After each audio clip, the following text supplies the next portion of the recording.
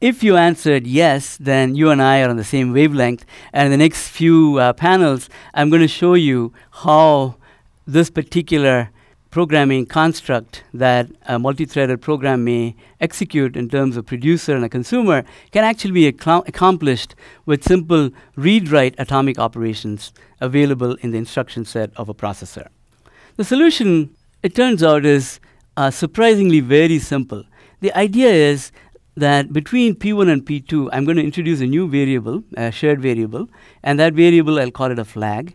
And I'll initi initialize this flag to be 0 to start with.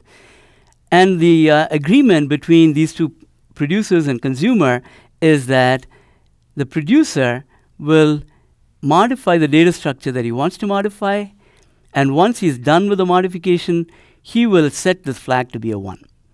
And that's the signal to uh, uh, to P2 uh, that that this guy is done with the modification. Now, what is P2 doing? Well, P2 is basically waiting for this flag, which initially the flag was initially zero, and and basically the pro processor P2 is waiting for this flag to change from a zero to a one.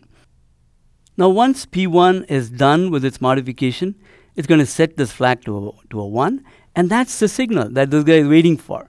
And as soon as this uh, flag changes to a 1, then he'll break out of this uh, spin loop here and he's now ready to use the data structure. And once he's done using the data structure, he can flip it back to 0 to indicate that he is, that he is done using it so that uh, the next time if uh, the producer wants to modify it again, um, he can do that. So that's sort of the solution. Now let's analyze the solution and see why it works uh, with just atomic uh, reads and writes.